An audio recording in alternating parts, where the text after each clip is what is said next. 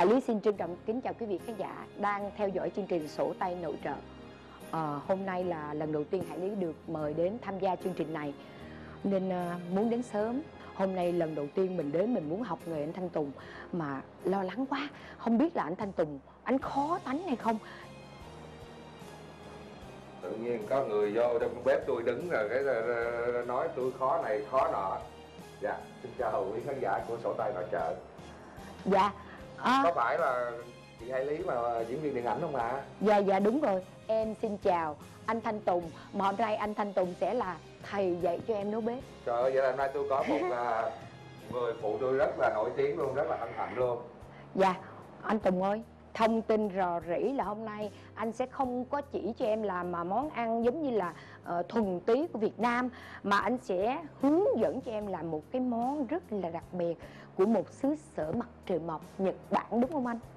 đúng rồi hoàn toàn chính xác Đó là món À. gì vậy? là món à, mì ramen sườn non kiểu Nhật à, đối với người Nhật thì nói tới một cái nền văn hóa ẩm thực rất là phong phú và Dạ. rất là bổ dưỡng ngoài ra thì ai cũng được thừa biết rằng con gái Nhật Bản hay phụ nữ Nhật Bản thì Dạ. thường là là rất là chăm chút và rất là giỏi trong cái nghề nấu ăn Dạ, anh ơi, làm khó không vậy?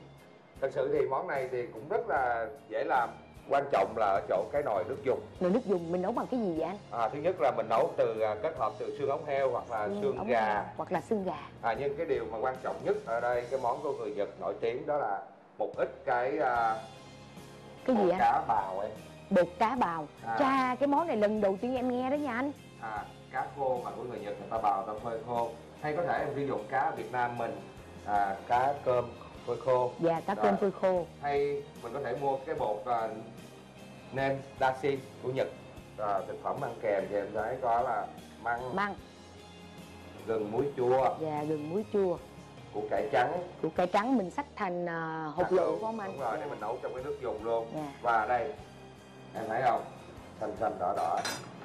Đây là một loại mì. Dạ. Ramen của người Nhật. Dạ mì ramen còn đây là một miếng à, chả cá của người Nhật mà ta làm rất là cầu kỳ hấp dẫn trang Dạ. trí rất là đẹp màu sắc. Mà đây là màu đây là màu thực phẩm nha chứ không Dạ. phải là màu bình thường nha. Dạ. Thật ra là em phải yên tâm với chuyện đó.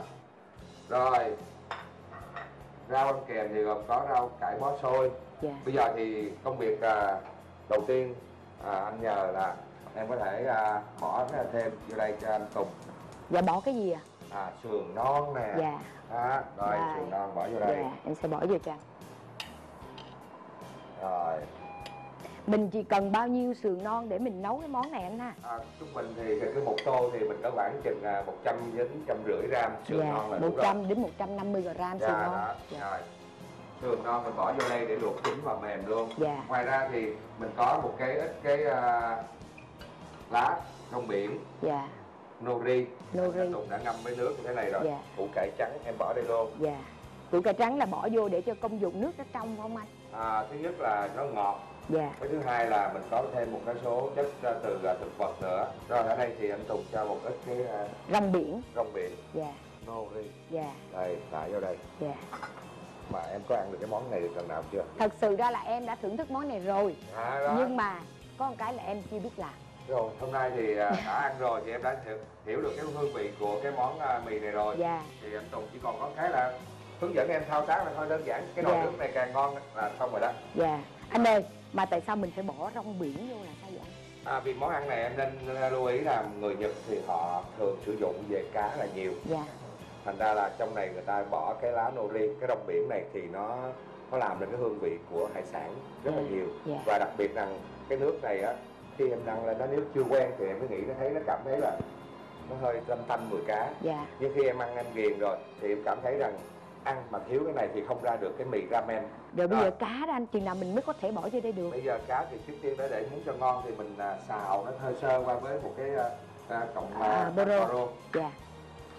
Anh cùng cắt ra. Rồi hải lý à, nhờ Lấy cái chảo. cái chảo. Dạ. Đó dạ đây cái Vô chảo nhà có rồi. cái chảo nữa. Hay vậy? Tại hồi nãy đó không có anh em bằng phép là khám phá. khám phá dạ. À ta cũng hay. Ai cũng vậy làm bếp thì phải vô bếp là phải coi trước cái bếp mình để sau này mình có thể làm nó quen đúng không nè Dạ. Em là quá hay rồi. Lấy cái à, vải nhỏ. À dạ. Rồi nếu mà nước nó sôi cái em hớt cho anh một Bọt. bọt đó. Dạ.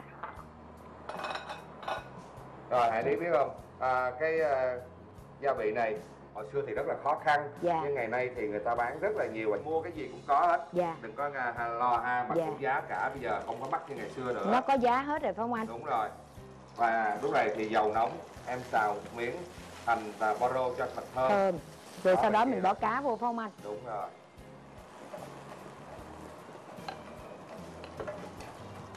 Rồi bây giờ anh à, hành và tia pomodoro đã thơm rồi thì anh Tùng cho cái à, cá bào vào dạ. Cái mình xào lên. Xào lên cho nó thơm. Ừm, mới có thấy anh xào thôi đã nghe thơm phức rồi. Rồi tắt lò. Đó, đơn giản vậy thôi. Anh để đây một chút xíu để chút nữa mình bỏ ra cái tô mì nè. Anh dạy em món này rồi kể như là anh bị mất rồi đó nha. Mất cái nghề của anh mất một cái món này luôn rồi Ô đó trời ơi anh Tùng còn mong là anh Tùng hướng dẫn được cho Hải Lý cũng như quý khán giả của sổ tay nội trợ càng biết nhiều món ăn thì gia đình thì càng thêm hạnh phúc để nấu món này ngon thì à, hỏi ai dạy nên Tùng dạy đúng không nè? Dạ với người ta thường nói là người phụ nữ giữ chân người đàn ông là cũng gì biết nấu ăn giỏi phải không anh? Đúng rồi hoàn toàn chính xác. Biết hôm nay có Hải Lý à, phụ với anh Tùng. Tùng rất là vui thành ra là đã chuẩn bị trước cái nồi nước dùng là một thứ hai là Tùng cũng đã bỏ vào đó một ít cái sườn non để cho nó chín hẳn. Dạ. Tới bây giờ thì à, những miếng sườn non của anh Tùng bỏ đã mềm rồi Dạ. đã hấp dẫn rồi. Dạ. Rồi. Rồi bây giờ mình làm mình mình làm theo những món kế tiếp Đấy nha. rồi, bây giờ cho đây thành- là- xong thành phẩm luôn đi anh. Rồi. Củ à, đây là những cái Măng. à, loại măng non Dạ. mà loại măng ống. Dạ măng ống non. À đây người ta cắt theo những cái hình tròn như thế này. Dạ. bỏ cho nó xinh xắn đối với ăn người Nhật là người ta ăn là người ta dùng cái từ là ăn trang trí. Dạ. Có nghĩa là những món ăn của họ. Mình ăn bằng mắt. Đúng rồi trang trí rất cầu kỳ. Đây em Tùng bỏ vào đây. Nhớ là măng này em mua về hải lý người ta đã luộc rồi. Dạ. mình cũng phải luộc luộc lại. Dạ. và xả nước ra một hai lần. Cho Dạ. nó thật sự hết cái mùi và nó làm cho mình đỡ phải à, nhức nhức mình mình. cái bộ này. Em này em ăn quá trời mà em không có bị nhức mình. Vậy hả? Vậy Dạ. là em không có kỹ đó. Em là em là thuộc lại dạng là chung vô kỹ rồi rồi để anh ra lấy miếng nước. Em thấy có sẵn chén nước rồi nè anh. Anh, à, đây, cho à, chắc anh chuẩn bị sẵn mà anh quên đó. Không phải anh em bộ nói thôi thật sự ra là anh đi ra ngoài nó ăn chán cái chảo một xíu thôi. À. Rồi. Nước này là chút mình trụng cái à, mì nè trụng À. à, trụng rau nè. Rau. rồi bây giờ còn cái món cá này nè chừng nào anh mới bỏ vô cái này món cá này thì nó đã chín rồi. Dạ. Vì thế là chút nữa xong mình cắt ra cái mình thả nó à, vô nồi là xong. Vô nồi là xong à? Dạ. Rồi giờ mình chỉ cần nêm lại mà trước khi à, mình coi cái này nó ngọt từ à, gia vị chưa nguyên liệu chưa đã. Thường thì mình thêm bỏ trong biển thì nó cũng có một cái vị à, dạ hơi mặn mặn hơi mặn mà cũng như là cái à, cá bào nó cũng có cái hương vị mặn rồi. Dạ, dạ. Lúc này em nếm thử đi. Nó ngon rồi nhưng mà nó vẫn còn lạc anh ạ. Đúng rồi đấy mình có cái nước tương. Nước tương soya. Dạ. À, thành ra là lúc này là bắt đầu mình nêm vô nè. À, cho dạ cái này anh em đi nước dùng rất là ngọt. Đúng em thấy không? Dạ. Bởi vì đó đã ít có nêm gia vị gì nữa lắm. Ngoài ra thì anh Tùng cho thêm. Ở đây khoảng là nửa cái vá nhỏ này. Dạ. Chút nữa mình mà thích mặn hơn tí xíu nữa thì mình ra ngoài mình sẽ nêm thêm chứ đừng có nêm trong này. Dạ. Rồi bây giờ thì chuẩn bị nè anh Dạ. cắt cái này luôn và Dạ. đợi nước sôi đợi nước sôi anh trụng mì đúng rồi. Ngày xưa mà anh ở bên đó à, buổi tối anh đi ăn cái này mà tuyết rơi đó. Dạ. Và ăn cái món mì này và trời thì đang tuyết rơi bên ngoài bên trong này mình mì thật nóng thấp thì em Rất là rất là sướng. Và và món này thì đây là cái dịp cuối năm mà người phụ nữ Nhật Bản thường thường hay nấu cho gia đình. Người người phụ nữ quan trọng nhất là phải biết bếp núc đó anh. Đúng rồi. Tại vì người ta nói là ăn cơm tàu ở nhà tây mà lấy vợ Giờ nhật phải không anh? hoàn toàn chính xác.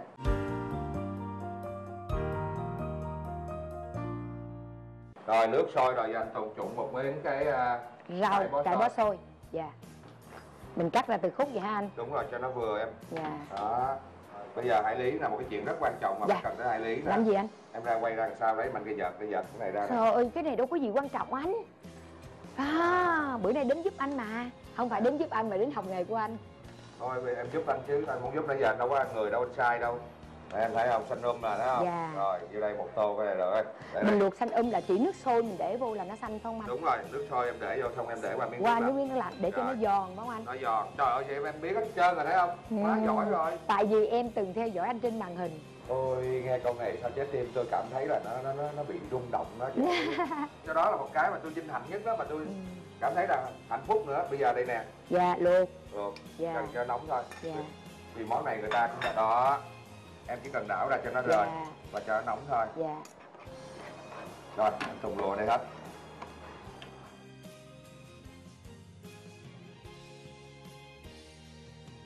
Đây như vậy. Rồi Dạ. giờ em mì đây ráo nghe nước tắt bếp không anh? Em tắt giùm anh đi đây em cho mì cái này đây. tắt đúng không anh? Đúng rồi. Để em không có xài bếp này em không được biết rồi được rồi vậy là được rồi. Dạ. À, nãy Nước. em nếm cái này rồi. Dạ em nêm xong rồi anh. Nhưng, nhưng mà anh nghe cái mùi nó nó chưa có lên đủ cái hương. Của à cái bột, à, bột cá. bột cá. Dạ. Bây giờ anh tùng cho đây thêm chút xíu nữa Dạ, dạ. cho em thưởng thức cho nó đúng cái phong cách.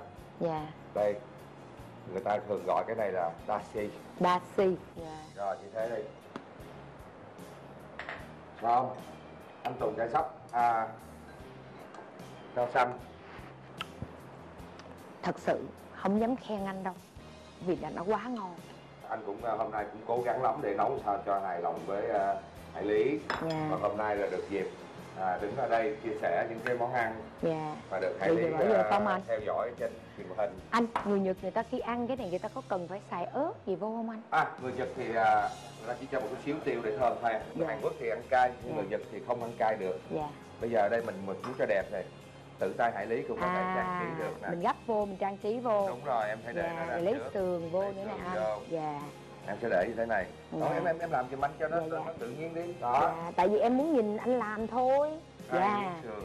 Ủa nãy anh không có nói em trứng mà tại sao giờ lại có trứng ở đây? Đó là một cái mà à, để cho em có một cái sự ngạc nhiên. Rồi thật ra món mì này của người phải có thêm một quả trứng nữa mà luộc lòng đào tưởng Rồi. đâu là anh à, anh tính giấu bí kíp chứ ai về Đó. bây giờ anh cho bí kíp ra hết rồi. Ừ, để cho đây sườn đây cục này cũng non ngon lắm nè. Dạ Đây, quá ngon luôn. Rồi mấy cậu này. Dạ. Rồi bây giờ em múc nước nè dạ. Nhớ ha cho bột cá rồi rồi, rồi, rồi cho cá bào rồi Dạ. vô.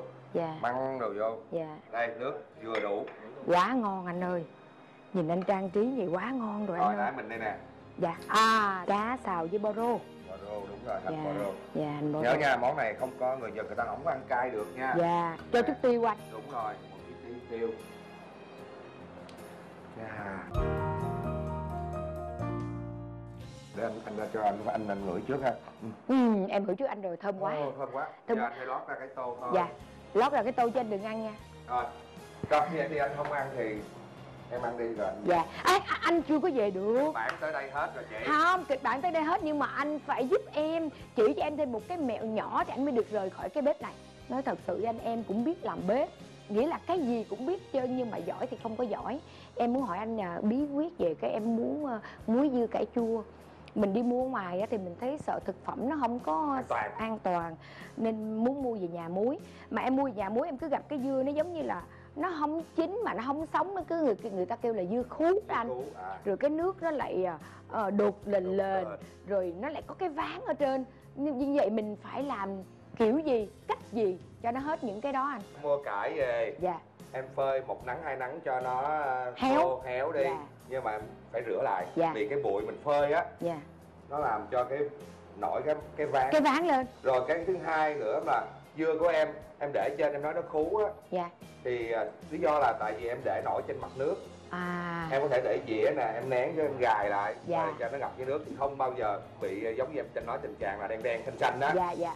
Rồi và cái thứ ba nữa là cái độ nhớt mà em nói á dạ. là lý do là tại vì em bỏ hành à, tím em Dạ. ngâm trong đó luôn. Đúng rồi, em có bỏ vô. à, hay tỏi gì đó cho thơm nước dạ. Á khi em ngâm cho cỡ bằng một ngày sau thì em mới cho hành nó vô em làm à vậy ha anh. Ừ thì nó không có ra cái nước của củ hành nó có cái nước ngọt ở trong đó. Dạ. nó nó tiết ra nó làm cho cái nước của em cảm thấy hơi nhân nhớt đúng không nhớ em? dạ đúng rồi. Đó vậy thôi đơn giản vậy thôi. Ờ, rất cảm ơn anh Thanh Tùng đã chia sẻ bí kíp này cho em rồi. Và kính thưa quý vị thời lượng của chương trình sổ tay nội trợ đến đây đã hết. Thanh tùng. Và Hải Lý xin kính chào và hẹn gặp lại